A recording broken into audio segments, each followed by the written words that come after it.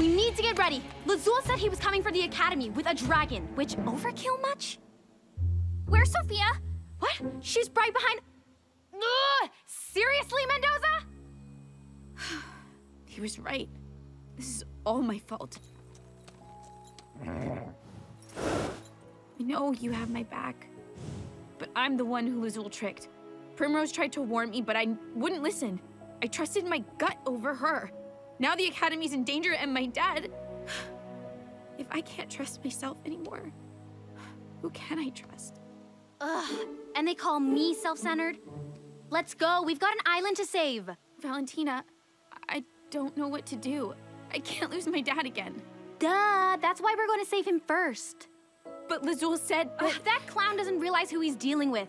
We'll rescue your dad, then come back and take care of Lazul. You can trust us, Sophia.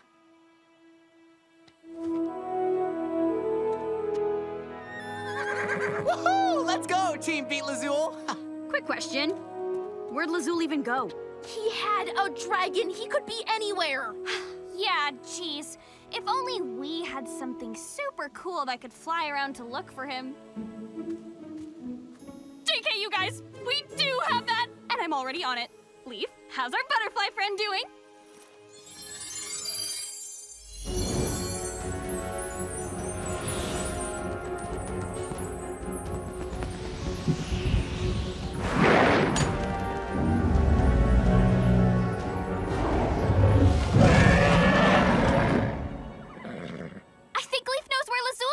Then let's go!